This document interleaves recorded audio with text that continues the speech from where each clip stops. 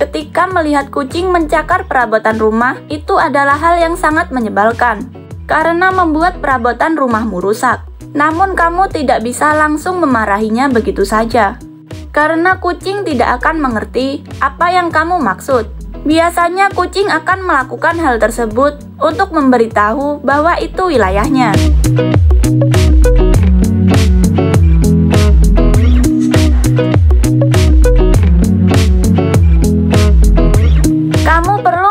Melakukan adaptasi secara perlahan agar kucingmu berhenti melakukan hal tersebut. Di sini kamu sangat berperan penting untuk membantu kucing dalam menghentikan kebiasaannya.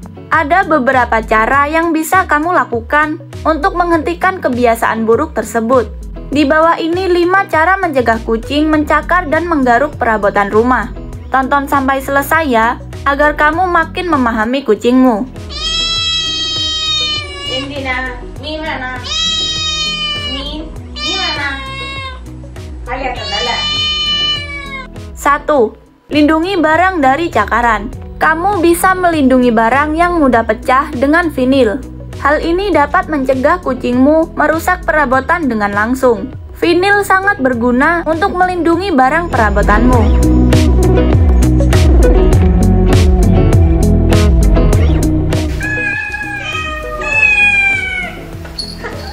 2. Jadwal bermain Kamu harus sering mengajak bermain kucingmu untuk mengalihkan perhatiannya. Ketika kamu mengajaknya bermain, maka dia tidak akan mencakar barang perabotanmu. Beri mainan dia yang tidak mudah pecah atau rusak, agar tetap enjoy saat bermain.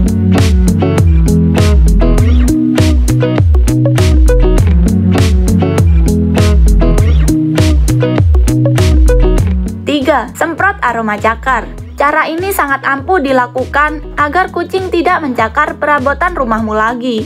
Ketika kucing sudah mencium aroma cakarnya menempel, maka dia tidak akan mengulang cakaran itu lagi.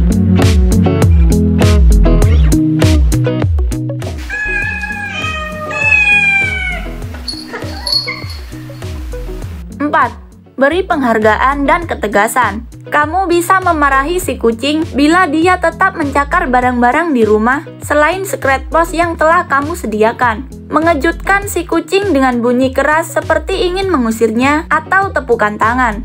Lalu meninggalkannya biasanya dapat dimengerti si kucing kalau perbuatannya itu salah.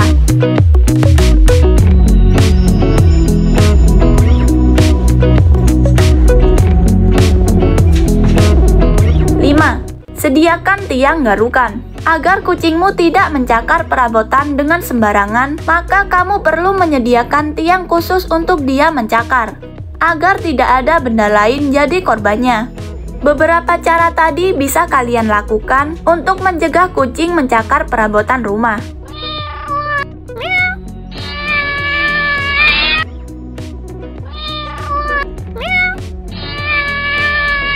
Terima kasih karena sudah menonton video ini sampai selesai. Jangan lupa tekan subscribe, tekan tombol loncengnya, dan nantikan video-video selanjutnya.